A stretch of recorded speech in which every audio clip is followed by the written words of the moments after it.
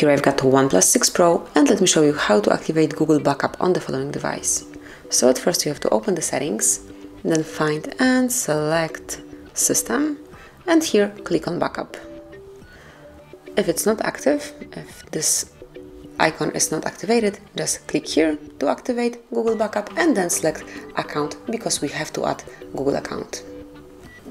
Make sure that you are connected to Wi-Fi as otherwise you will not be able to log in and then enter your email address or phone number, whichever is connected with your Google account. In my case it's email address and then tap on next. Now it's time to enter the password, so let me do it off the screen.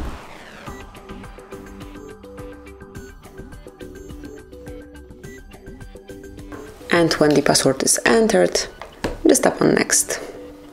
And here you have to read Google Terms of Service, Google Play Terms of Service, and also check the privacy policy. And if you do agree with all the conditions, just click on I agree. And here you've got Google Service, which is backup to Google Drive. Click on accept to finish the whole operation.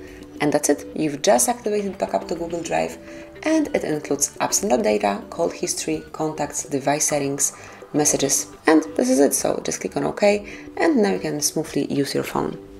Thank you for watching, please subscribe our channel and leave the thumbs up.